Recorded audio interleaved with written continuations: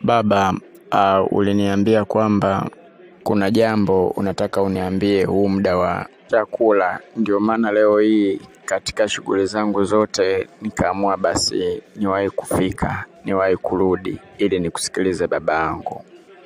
Ndiyo mwanangu Kibwidu, kuna busara kubwa sana mzazi anapoongea na mwanaye, hasa wewe hapo, kwa sababu wewe ni mwanangu wa pekee na kwa mara ya kwanza nilikupata wewe, natokea nikupate wewe, sijafanikiwa tena kumpata mtoto mwingine.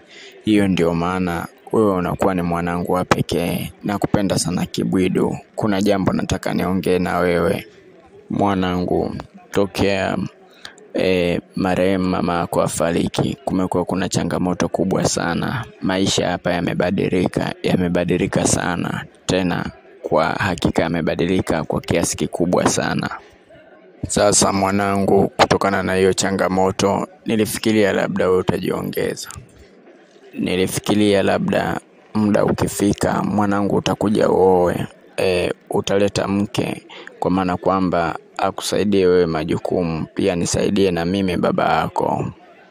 Lakini siku zinaenda mwanangu, sioni makeke yako, yaani sioni fujo unazoleta, sioni hata sketi yoyote ikiingia chumbani kwako.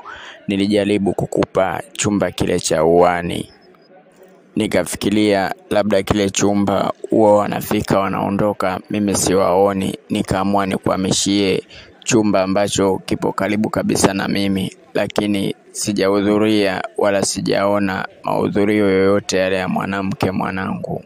Sasa nimeamua nioe mwanangu, Aa, kwa maana kwamba huyu mke nitakayeoa atatusaidia sisi sote, yaani atakusaidia wewe kama vile mwanawe na atanisaidia mimi kama vile e, mme wake. Mm, baba, unataka uwe na huo umri? Huo umri umeenda. Ah, na wasiwasi sana na mwanamke utakayemwoa. Tena kama ukioa mabinti wa sasa hivi atakuchanganya sana baba yangu.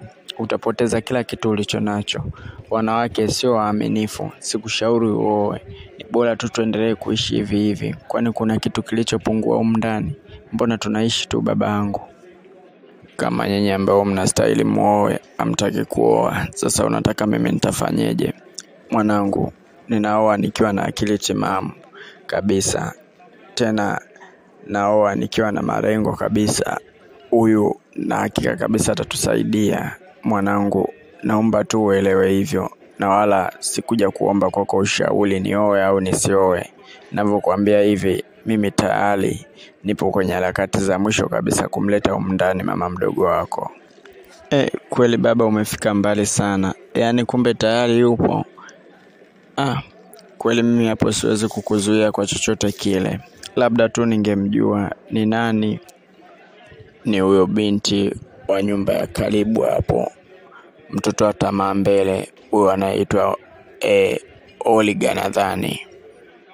E, baba, huyu Oliga huyu nayemjua mimi huyu au kuna Oliga mwingine? Huyo huyo mwanangu, huyo huyo Oliga unayemjua wewe. Kwani baba ushatembea naye?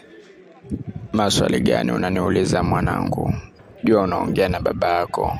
Wewe inatakiwa ujue kwamba huyo ndio mama yako mtarajiwa.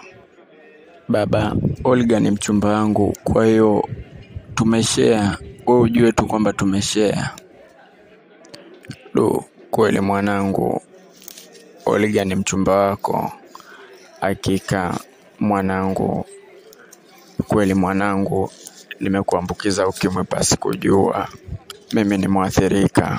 Na kwa nini ulichagua kutembea na Olga mwanangu? Umekwisha ujue.